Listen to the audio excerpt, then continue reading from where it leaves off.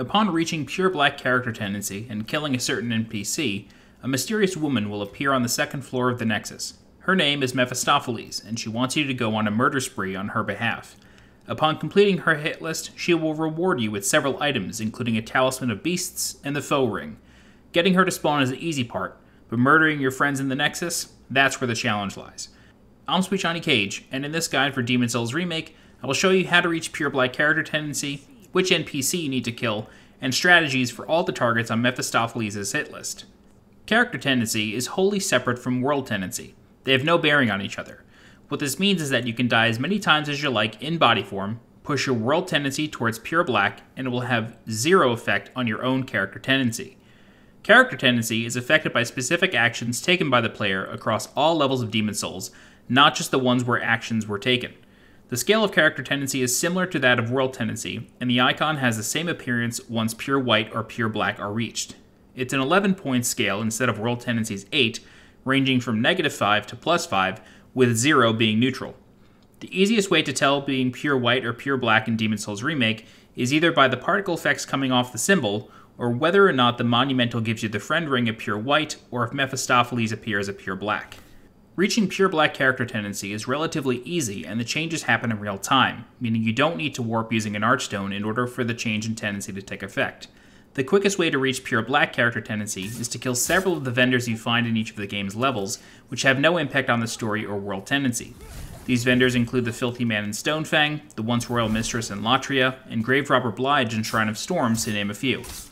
Additionally, there are three NPCs, whom, if killed, will also shift the world tendency of their respective levels, as well as numerous NPCs and Black Phantoms whom, if killed, will have no effect on character tendency, but may have an effect on world tendency. Finally, an NPC must be killed using a weapon or direct spell in order for tendency to change. This means that death by Poison Cloud, Death Cloud, Soul Sucker, or an environmental death such as falling off a cliff will not result in any changed character tendency. You must deliver the killing blow yourself. Although you absolutely do not want to do this for the purpose of the Mephistopheles questline, I'll also list the ways to push your character tendency towards white, as pure white character tendency is required to get the friend ring from the Monumental. If you have any questions about character tendency, please leave a comment or check out the Wikidot article, which I've linked in the video description. With that explanation out of the way, let's move on to the other requirement for Mephistopheles to appear in the Nexus. In addition to having pure black character tendency, you must also kill Yurt, the Silent Chief, who can first be found in Upper Latria level 3-2. Let him out of his cage and immediately kill him. Otherwise, he will return to the Nexus once you kill the next boss in Latria, where he will then go on a silent murder spree of his own. His targets are the same as Mephistopheles, so you want to make sure that you kill him immediately after letting him out of his cage. Otherwise, there is a chance that you may not be able to complete Mephistopheles' questline because a mark is already dead by Yurt's hands. Mephistopheles will not appear in the Nexus if Yurt is alive, so I can't stress enough that you need to do this as soon as possible. Yurt isn't that hard of an opponent to fight, and you can always kill him by pushing him off the platform. If he dies in this way, be sure to reload your game and loot the Gloom armor set from in front of his cage before warping back to the Nexus. Provided Yurt is dead and you have pure black character tendency, Mephistopheles will appear on the second floor of the Nexus, on the left side of the memorial, or on the right side if you're in fractured mode. The questline can be completed in either mode, and you can shift between normal and fractured worlds at any time without affecting the status of the marks or the quest itself. One very important thing I need to mention before you begin this questline. If you are doing this quest for a specific reward, whether it's the Talisman of Beasts for killing Ostrava of Boletaria, or likely the foe's ring after you kill Yuria the Witch on behalf of Mephistopheles, Mephistopheles will not have you kill that person. Instead, she will skip that person on the list and go to the next mark. So, do not start this quest line if you wanted the foe's ring, but Yuria the Witch is already dead in your playthrough. You will have wasted your time. Instead, go to the next new game cycle and start the quest line there. Because again, Mephistopheles will skip that request and move on to the next. The order of assassination targets is as follows. First, it's Saint Urbain, worshipper of God and acolyte of God. After killing them, you get a Stone of Ephemeral Eyes. Then it's Sage Freke and his apprentice. The reward for that is also a Stone of Ephemeral Eyes. Then it's Patches the Hyena for a colorless demon soul, followed by Biorr of the Twin Fangs for another colorless demon soul. And then it's Ostrava of Boletaria, Killing him rewards the Talisman of Beasts. And then finally, it's Yuria the Witch, which rewards the Foes Ring. After getting the Foes Ring, Mephistopheles will attack you, and then you can get her set, as well as the Epee Rapier and Ring of Accursed. So with all that out of the way, let's get started on the quest line. The first marks that Mephistopheles will want you to kill are Saint Urbain and his followers, which are the Worshipper of God and Acolyte of God. This isn't a really challenging fight, and if you have the Pyromancy Combustion, it's really, really easy. All you have to do is walk up to St. Urbain's back and just lay into him with Combustion. You can also do this with any weapon. His attacks are not that strong, but given that he is the strongest out of the three, I recommend going after him first. Once you aggro St. Urbain, the Worshipper of God will also start attacking you. She is very weak, at least when I was in New Game Plus, she was doing barely any damage, and I was using Sage Freke's armor set that doesn't have a high defense rating anyway. The Acolyte of God will not aggro provided you are far enough away from him when you aggro Urbain. You may want to equip the Thief's Ring, this way you are guaranteed to not aggro him. If the three of them do aggro, just try to get Urbain by himself, but he will run into a corner and attempt to heal. Do not let him do this, for obvious reasons. But when he's in a corner, he'll become a bit passive, and you can just keep laying into him with attacks, and he won't be able to respond. The Worshipper of God, on the other hand, is also not very powerful, like I said, but her pickaxe can interrupt you, so if you're able to pepper her with spells, that's great. Otherwise, just try to get in some quick attacks, and you can parry her pretty easily as well. She doesn't have a lot of health, so she'll drop pretty fast, and then provided you didn't walk too close to him, the Acolyte of God should be the last one that you want to take down. He just has a simple one-handed sword. It's sort of like a dirk. It's not going to do much damage, and he's pretty slow with it, which makes him pretty easy to parry himself. Obviously, I'm spamming Combustion because it's the most powerful spell in the game, or one of, if you can use it at close range. But if you don't have any spells to use, fear not. He can be interrupted really easy. I just have a Rapier, and that stuns him. Obviously, he can heal, as you see there. It's not good. You don't want him to do that too much. You want to interrupt it if you can. But just like Urbain and the Worshipper of God, the Acolyte will try to get into a corner, turn passive, and try to heal. If he does that, just follow him down and hunt him until he is dead. With Urbain and his followers slain, we return to Mephistopheles for a new mark. So, it is done.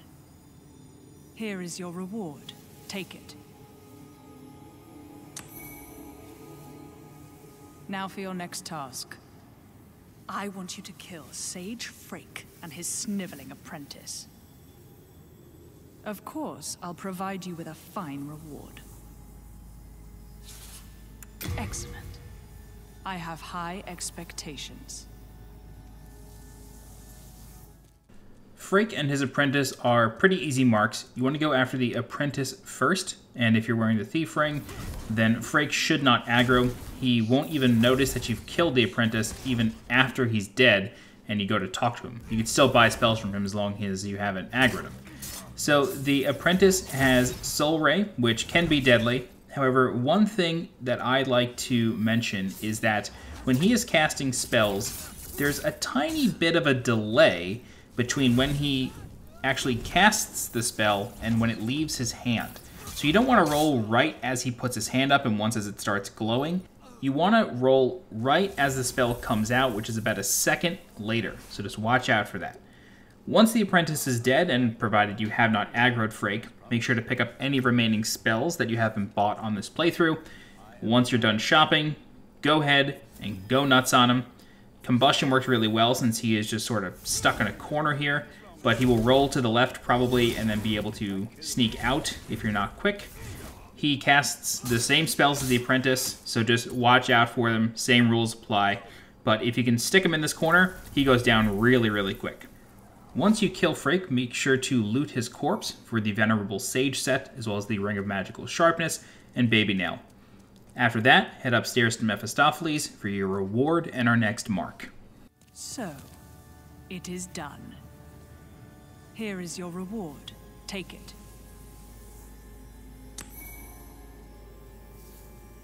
Don't look at me with that ravenous countenance. There's more work to be done. I want you to kill Patches the hyena.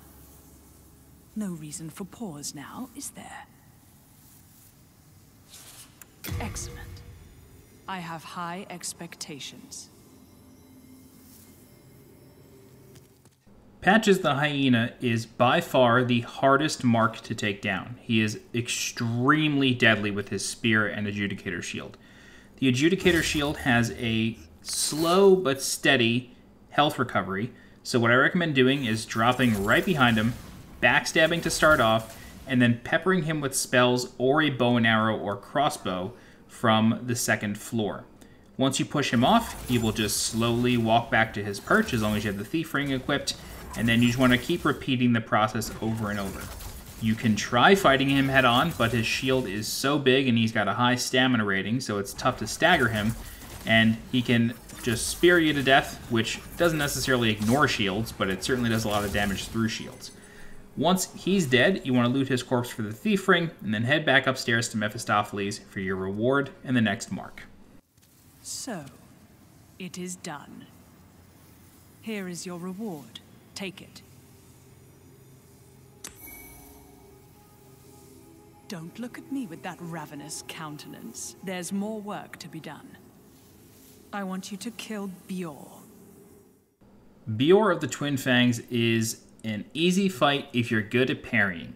He is very resistant to fire, which makes sense because he helps you kill the blue dragon in 1 4. And he's not necessarily susceptible to magic either, so you kind of have to fight him head on.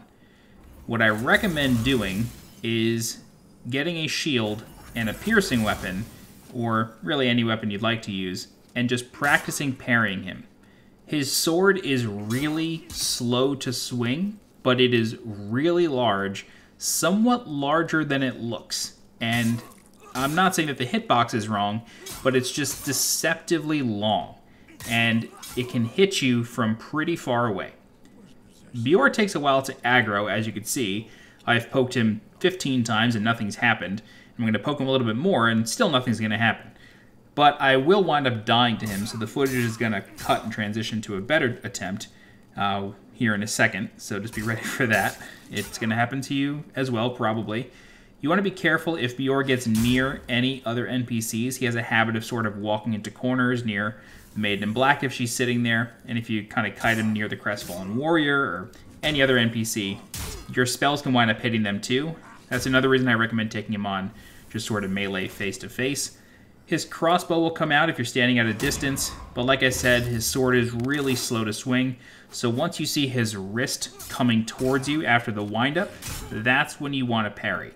You're probably going to get it every time after you get it once, so just keep repeating that. It's nowhere near as hard as Satsuki's Black Phantom in 4-1. He's a pretty easy target to take down once you can parry him, and once his health is low enough, poke him a couple more times, and then loot his corpse for his armor set, which is the Brushwood set. It's pretty heavy, but you can also get the Ring of Great Strength from him. Once Biorr goes down and you loot his corpse, head back upstairs for your reward and next mark from Mephistopheles. So, it is done. Here is your reward. Take it.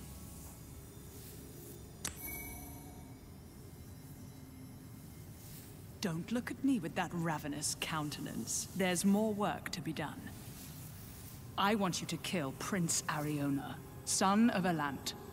He goes by the pseudonym Ostrava. No reason for pause now, is there? Excellent. I have high expectations. One of the really interesting things about Ostrava of Boletaria as a mark is that he is almost always in the world. And in level 1-4, if you walk past him when he is on the staircase and don't talk to him or interact with him, he will commit suicide. He just succumbs to his wounds and he's done. But there was a rule in the original game, and I'm not 100% sure if this was even true, but this is what all the wikis say. The rule was that you needed to kill the NPC within the Nexus. So if the NPC was within the world, such as Ostrava here in 1.4, and you killed him here, it wouldn't count. But I can tell you, unequivocally, in the remake, this is not true. You can kill the NPC in the world. Ostrava is really the only one you're probably going to run into this with, because everybody else just sort of stays in the Nexus for a long time. I guess with the exception of Biorr of the Twin Fangs, he can also disappear after World 1-4, but probably not likely that you're going to run into that issue. Anyway, Ostrava in level 1-4 will die in one hit. He only has 1 HP, so the easiest way to kill him is to just walk up to him in 1-4 and stab him. If he does not appear in 1-4 and he is not in the Nexus, then unfortunately, you're going to have to do this on another playthrough because you either forgot to rescue him or he died before and he's just gone. It's sort of a sad state of affairs, but he is the NPC that people forget the most, and it's really tricky to control him. So, with Ostrava out of the way, we can return to Mephistopheles for our reward and the final mark. Well, well. Very smooth work. Almost merciless. Here is your reward. Be thankful for it. Normally it would never find its way into your impure hands.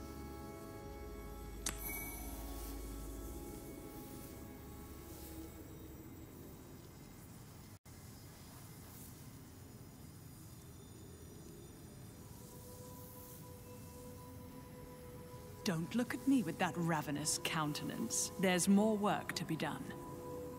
I want you to kill that witch, Yuria. Of course, I'll provide you with a fine reward. Excellent. I have high expectations. Yuria being the final mark is kind of sad because you rescued her from a truly terrible fate in level 1-3 at the hand of the Fat Official. Luckily, she has very little health and probably won't even get a cast off if you can pin her in a corner with a heavy weapon or even a stabbing weapon or a spell. She drops the old ragged robes, the three-cornered hat, and the ring of magical nature. Once the final mark is down, you want to head back to Mephistopheles for your final reward and the true final mark. So, you're all done. You're what they might call a miracle worker. One final task, and the Secret of Souls shall die with you. Okay, so obviously Mephistopheles wasn't messing around. She meant to kill you the entire time. Luckily, she is somewhat easily parried, although her attacks are really fast, and she has a piercing weapon, so they can be tough to deal with. The weapon is also on fire, and since you're a pure black character tendency, your health and soul form is quite low.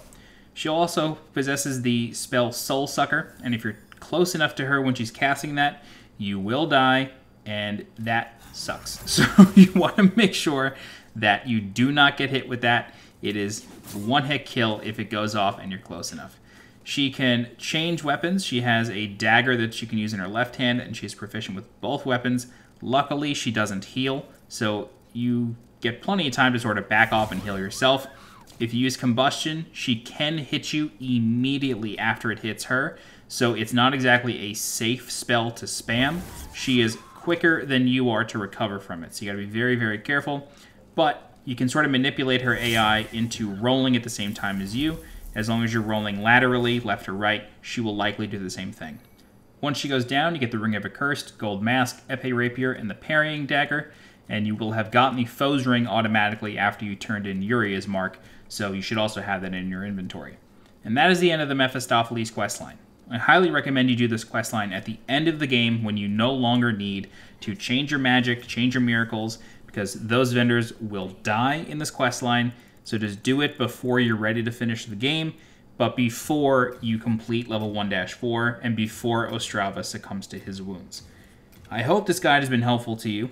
It is a little bit confusing to control all these NPCs, where they are in the world, and making sure they don't die before you need to kill them yourself. It's challenging. You got to do a lot of pre-planning, but I hope this guide has helped. If you have any questions, please feel free to leave a comment. I'll do my best to help you out. If you're looking for more guides for Demon Souls Remake, please subscribe to the channel so you get alerted when new guides go live. If you're interested in supporting the channel monetarily, please consider becoming a channel member by clicking the blue join button below this video. Don't forget to follow me on Twitter and on Twitch, and as always, I'll be Johnny Cage. Thanks so much for watching, and I'll see you next time. Bye-bye.